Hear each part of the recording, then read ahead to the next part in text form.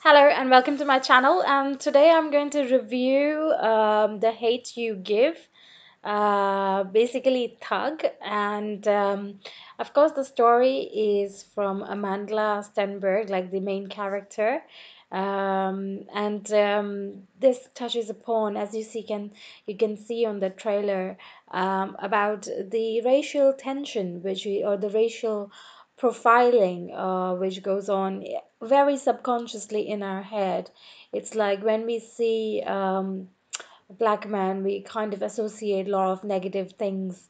Um, and uh, somebody has stood up for them, you know, somebody has got a voice for them and have been talking about um, where they stand in the society.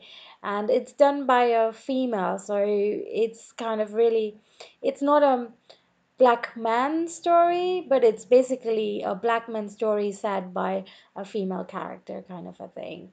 And that's very good. And it, it does show like a lot of things um, which is happening in US um, and um, um, and that's the good part. I mean, like the voice, the the audience which I had was just so wonderful. Uh, I was sitting around and they were they were saying things and they were whistling and they were laughing and they were you know all that sort of like it was like completely full and so enthusiastic.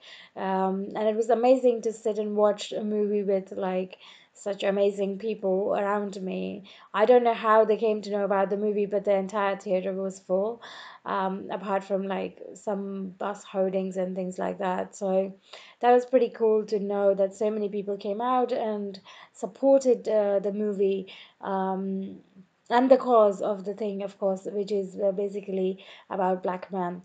The only thing I didn't get it is basically um, not knowing um, certain African words. So I'm gonna rate it 4.5 out of 5.